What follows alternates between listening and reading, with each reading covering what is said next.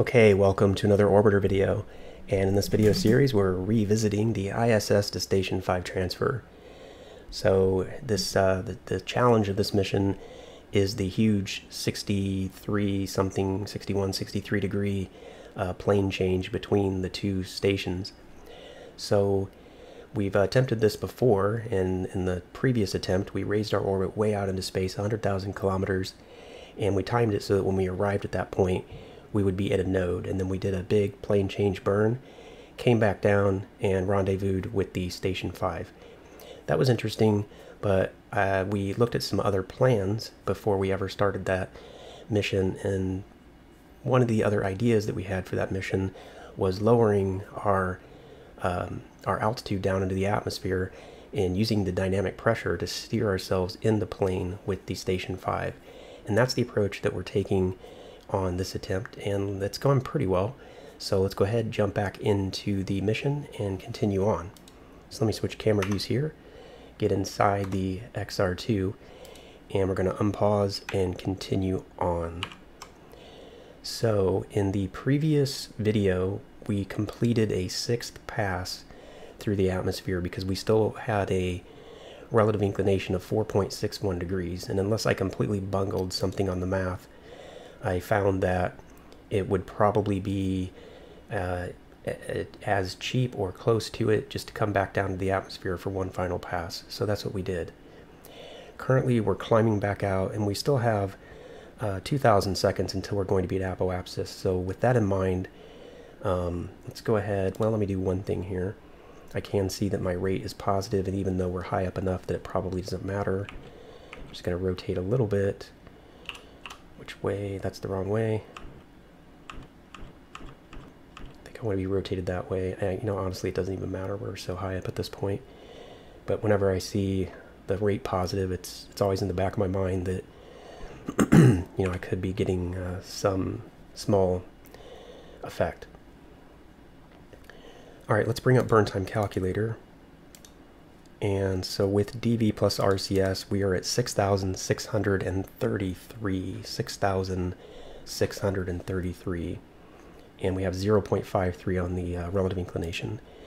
So 6,660, 6,633. So let me insert a line here. And let's copy this, paste it down, and let's update this line. So this was a sixth pass. This was our last pass. So DV remaining afterwards was 6,633 and the relative inclination came all the way down to 0.53. Alright, so let me fix the gain really quick. So minus, mm, 0.53, so our gain for that pass was 4.08 degrees, bringing our total up to 65.78. That seems obviously wrong somehow, but I'll have to review that later and figure out what's wrong there. Okay, so now we want to subtract out the 6,033, and we also have to add in the previous line, so minus C65.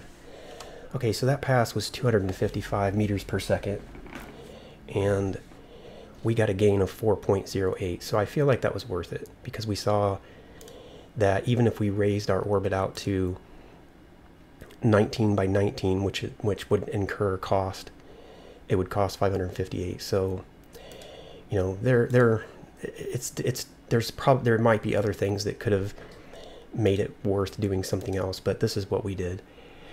So currently we have 6,633 delta V remaining. So, and our plane change has effectively been nulled out.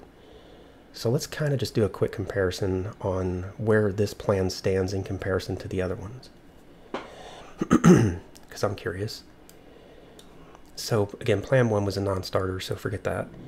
So with, um, you know, with plan number two, where would we be? Uh, it's hard to say. Well, we would still have, I guess it's a little hard to compare them side by side because we're doing different things, but maybe plan three or four would be the best one to compare to. So basically after the plane change maneuver, um, probably, you know, we and this one would have about 29.58 left. This one would have had about 55, assuming we didn't mess up our plane alignment on the atmospheric brake. And in this plan, we have 66.33 remaining. So, I mean, it's pretty good. It's time consuming in terms of real world time, but it's a pretty good plan. So now we have to decide what are we going to do next. So again, this part of the plan I said was a bit up in the air. So let's go ahead and switch camera views here. And let's try to figure out how to, like, what, what is the next thing that we want to do. Well, one thing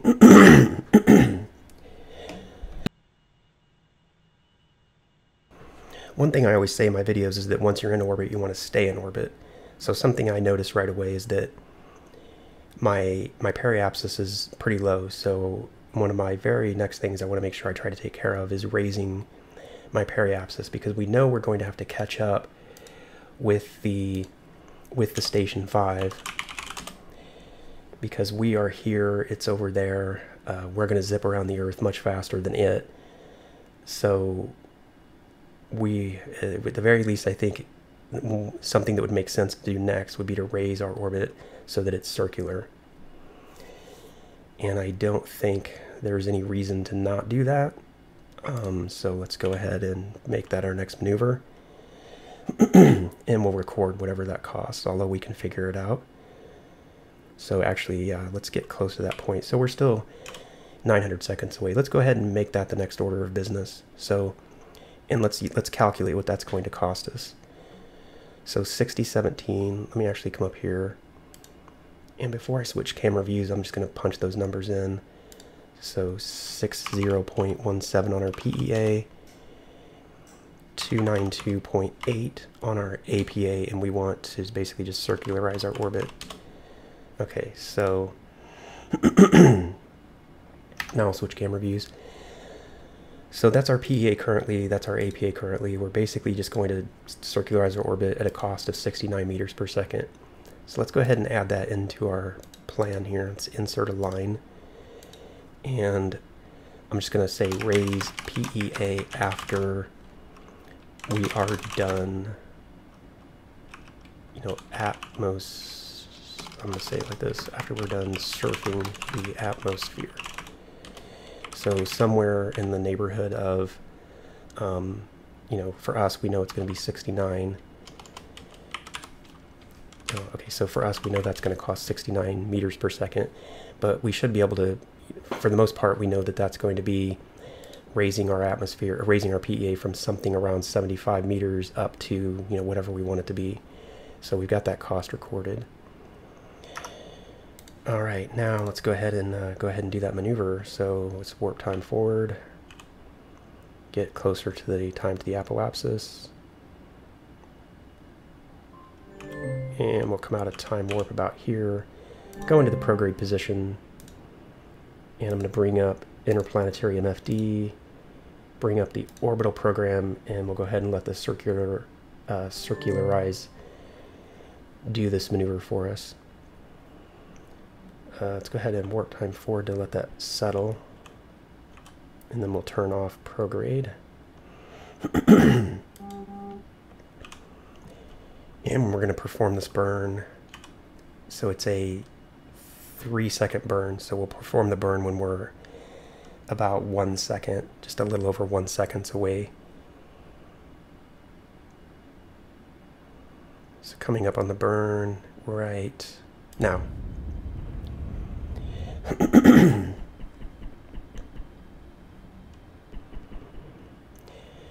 okay, so that burn is complete.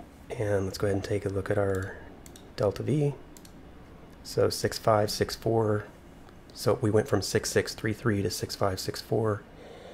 So I think that cost pretty much in the neighborhood of what we said it would. All right, now we have to decide how are we going to encounter the the station 5. So let's target it again. So we're going to catch up to it really fast because our orbital period is 5-4, its orbital period is 7-6. So we're going to catch up pretty quick. Now we do have this last little bit of relative inclination to deal with. Um, let's let's use TransX and try to set this up so that we can just combine everything into one burn. so let me do an adjustment here to ships plus station 5. And I think what I might actually do is do TransX and IMFD and try to get the best burn that I can by going back and forth between the two. Alright, so let's change our variables to uh, graph projection and give us something that makes sense. There we go. View over to the maneuver, turn maneuver mode on, and we know we're going to raise our orbit, so we'll start with that. And if we're going to be about as efficient as we can, we want to just be touching the orbit of the Station 5, not going past it. And that, to me, looks perfect. So now we're going, we're going to change our date, and it's not going to be a huge amount, but we'll start with Ultra, and we're just going to start circling around in time until the closest approach comes down. Uh, bearing in mind that we will have to do some amount of plane change in this maneuver, but it shouldn't be a huge amount. So we're getting really close about here. So let's go down to a hyper setting. And oddly, it says we are only a kilometer out, and that's fine. I mean, we wouldn't even have to do a plane change to, if we're just going to be a kilometer out. It's a bit surprising. And says the DV is 427 and the encounter velocity is 418, or in in IMFD speak, my DV is 427 and my IV, my intercept velocity is 418. So that was easy. Um, let's bring up IMFD and let me see how far out in the future is that. So not far, not super far. Let's bring up IMFD and see if we can match it, uh, or rather beat it. so we're going to go to the menu, into the configuration, we're going to turn off nodal regression because I don't have non-spherical gravity sources enabled. Mission timers MJD, that's set in the configuration file. And we're going to go to uh, course program, target intercept, and we want to target the station 5. Change our projection to something that's sane. And so for starters, I feel like a good starting point rather than just guessing with IMFD um, since TransX is so much faster at finding the solution, we can start by using what we found in TransX. And we know that our eject point is going to be that number. So let's start by setting the TEJ to 9, 6, let's go 20. Okay, now that's going to have messed up this because that's has my TIN at a completely different time. So this says my uh, my encounter, so I can start by setting my MJD here. 5198522. We'll start with that. Okay, so since we use TransX to get ourselves in a really good, um, in, the, in, a, in not just in the ballpark, but really close with uh, IMFD. Now we can use IMFD and focus on our DV to see just how much we can improve the TransX plan by. Alright, so we are currently unlocked, and that's what we want, and we're at 1x. Let's start with 10, that's probably too much, but let's just see what happens. That's the wrong, oh that's better, that's better, that's better, better, worse. So let's start with that. So 1, and so that's, everything's getting better. So let's see. And that's starting to bottom out. So now let's check our EJ. And let's start with 10. Worse, worse. So we're really close. And point that's going worse. And that's getting a little bit better, but now worse. So yeah, I feel like I feel like the, maybe the best way to, to use interplanetary MFD is to start with TransX because it's so much faster and then just basically import that plan into interplanetary MFD and then fiddle with it from there. okay, so just to kind of make sure, or you know, that we're close, I'm gonna I'm gonna lock this now, and I'm just gonna move it forward backwards a little bit just to see what happens. Okay, so we're locked. So worse, not surprising, worse. So yeah, I feel like we I feel like we're there. So let's go ahead and unlock and let's just check one more time. So worse. So that's worse. That's worse. Okay, we've got it. I feel like we've got it dialed in. So thank you very much, TransX, for your assistance. We don't need you anymore. Go away. Um, yeah, let's go ahead and uh, plan on burning this maneuver then. So this is going to cost us uh, 429 on the D, on the you know to raise our orbit, and then another 420 to raise the other side of our orbit at the time of rendezvous, for a total of around 850. So let's uh, bring over page, bring up the burn vector, and so it's it may, it may be a bit interesting to note that what uh, IMFD figured out it was that using 428.66 prograde plus 15.84 degrees of, of plane change plus 0.3 degrees of inward or negative outward is uh, was the best solution. And we could have found that in TransX, but um, IMFD finds that last little bit faster. All right, let me turn off the burn vector for a moment and let's get closer to the eject time and just watch our numbers and be a little crazy with time warp. So 6,000, 5,000, 4,000, 3,000, 2, and about 500. Uh, I'm getting scared, so I'm going to come out of time warp now. Now I just want to check everything again uh, just really quick back and forth just to see if anything has changed in the universe in the last few thousand seconds. So we're at one. So that's not helping. That's not helping. That's not helping.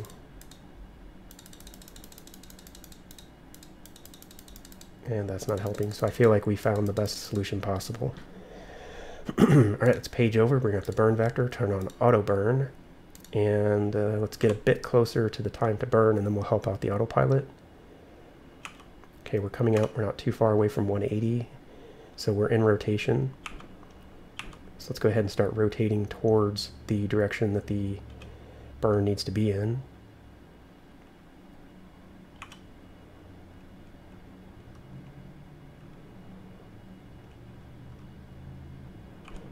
And we're pretty much there so I'm going to kill rotate. And we need to go just a little bit in this direction wrong way. A little bit right there so that has us lined up perfectly. Probably won't hold perfect but it's really close. Now we're just going to warp time forward over to 180 and we're already lined up so the autopilot didn't have to do anything. And now we're going to uh, warp time forward and complete this burn so we're going to do the burn in just about six seconds. Five, four, three, two, one, and burning.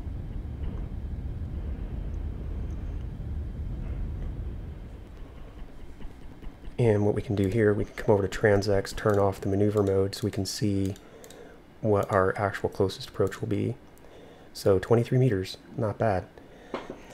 All right, let's bring up burn time calculator and let's log this burn into the record books. So we have 6,135 remaining. So let me switch to this view. And well, what we actually did, we went from current altitude to 2,000. and that cost us, uh, well, we had remaining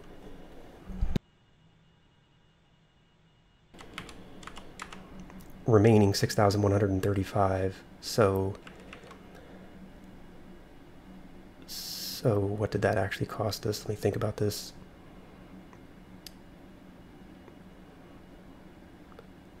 Um, oh, actually, I know because uh, we have it here in burn time calculator. So that actually cost us 429.14, 429.14. So let me log that, 4 29.14. That's actual cost. Okay, so that is going to wrap it up for this video. Let me switch camera views here. And when we come back in the next part, I imagine it will be the last part. We will rendezvous with the Station 5 after all of our hard work, and we'll dock. So I will see you in the next part.